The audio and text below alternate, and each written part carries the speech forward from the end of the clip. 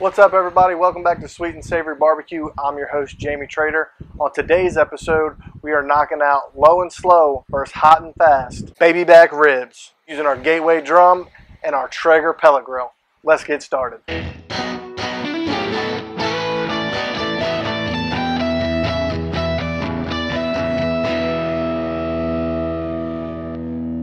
So we've got our baby back ribs here. First thing I'm gonna do is get them trimmed up. You see that kind of slants off here. I want to kind of even that out. So come in here, make a cut. Anything hanging, I'm going to get that off. And I actually like to take off this last bone here too. You can leave it on if you want. I prefer to take it off. Pretty good looking rack of ribs there. Got this little flat.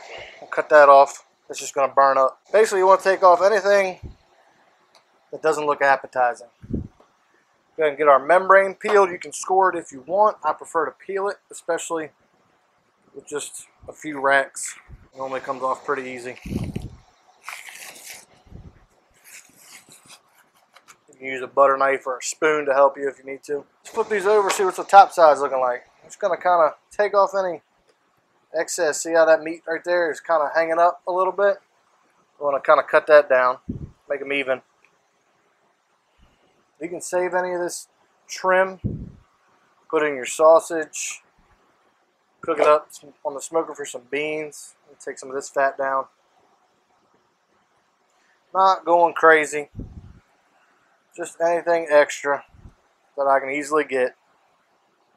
Keep your knife flat and work with the meat. Like I said, not going to go crazy. Not to go crazy at all.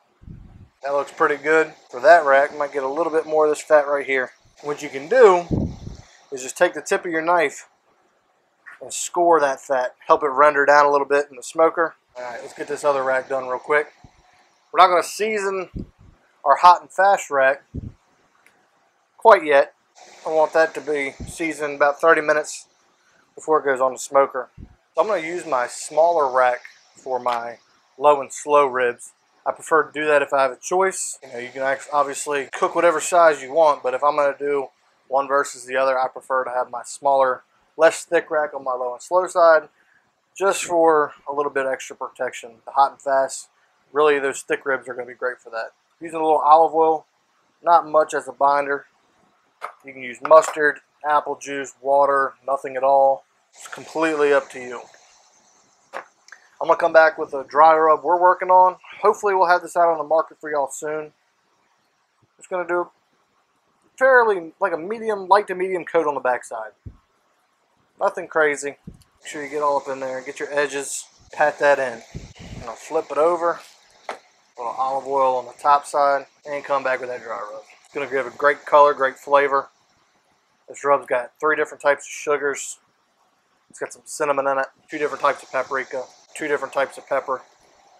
It's a really great rub. We're just to let this hang out here for about 30 minutes. We're to be cooking our low and slow ribs on our Traeger today.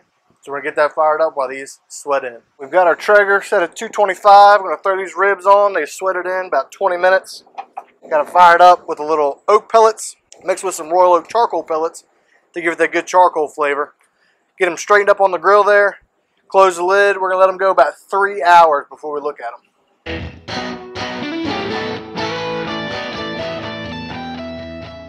Got our drum up 300 degrees.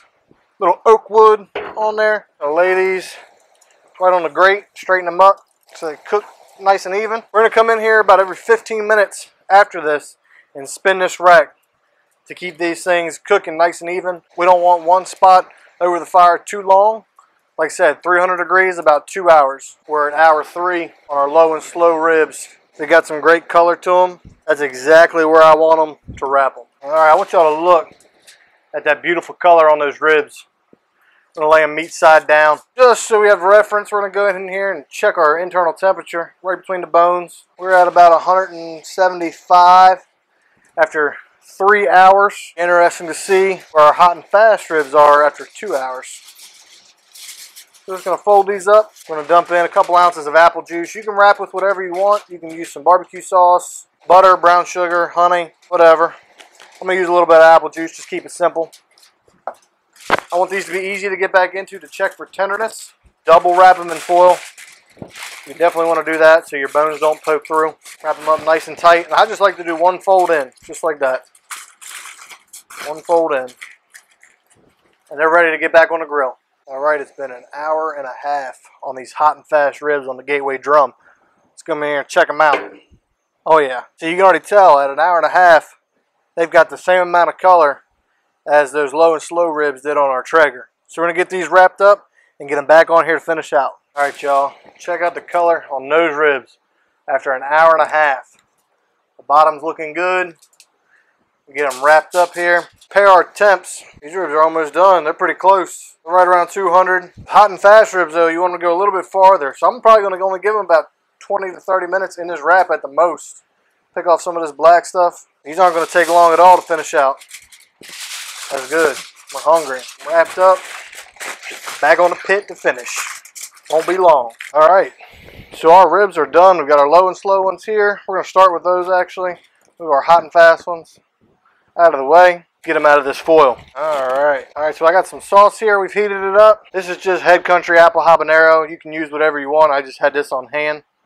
Start with this backside. Nice little light coat. Nothing crazy. I'm to flip them over. Hit the top side. Get a little heavier on the top want them ribs to shine. At this point, you can hit them with a little more rub if you want. You can do pretty much whatever you want. I'm just to stick with the sauce. I think they look pretty good just that way. What do y'all think? You think they look good? All right, let's get our hot and fast ones out.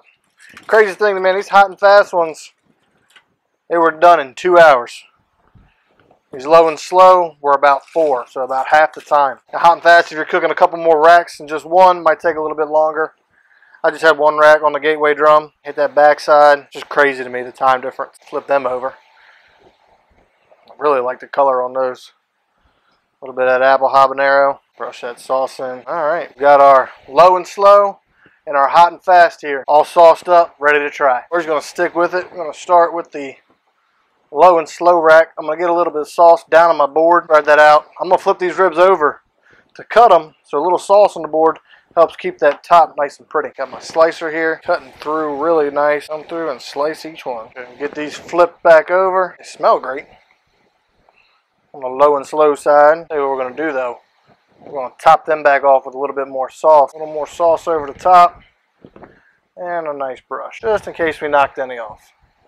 Alright, let's do the same thing. These hot and fast. Come down here and start slicing. Let your knife do the work. Get them flip back over. Hit them with a little more of that sauce. Alright, now I'm to try one. Try these low and slow first. Alright, alright, low and slow. Starting off strong. It's really juicy. It's tender. Not overcooked. That's a good thing. Those are good ribs. Not bad. Let's get after one of these hot and fast ribs. Going right here out of the middle. Just by looking at it, it looks like it's a little more done than the other one. That's okay. The flavor of that gateway drum, you see how tender they are. It provides a really unique flavor with the meat dripping on the coals like that. I don't know. That's going to give old low and slow a run for its money. They're both a damn good rib. We might have to try one more of each one. So in the end, I think I like this hot and fast rib a little bit better. It's got a little bit better flavor coming off that drum. Now I can't say it would be the same on the Traeger at 300. I think the fat render is a little bit better on these hot and fast ribs. These low and slow ribs are really good.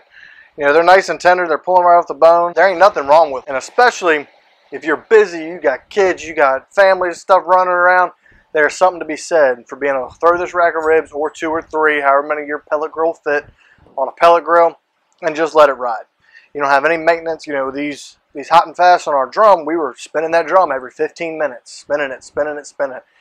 That way it didn't get too charry on one end or the other. Down to flavor, these Gateway drum ribs, hot and fast, that's the way to go for flavor. So that's it for this week's video. We hope y'all enjoyed it. We hope y'all learned something. Be sure to try out this recipe. Let us know on social media when you try it. Hit that subscribe button and watch this next video we got picked out for you. And we'll see y'all next time.